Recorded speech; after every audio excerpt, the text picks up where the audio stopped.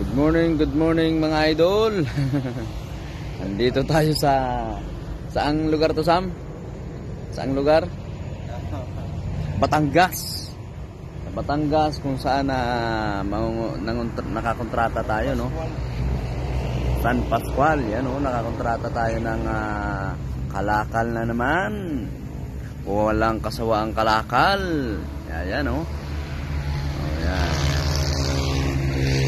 So, kahit saan, no? Nakakarating tayo, no? Makakita lang tayo ng kalakal, no? At siyempre kasama natin si Boss Rolly. Boss Rolly! si Boss Rolly! Tagaliti ang Tagaliti. Tagaliti. Taga, Tagalite, Tagalite.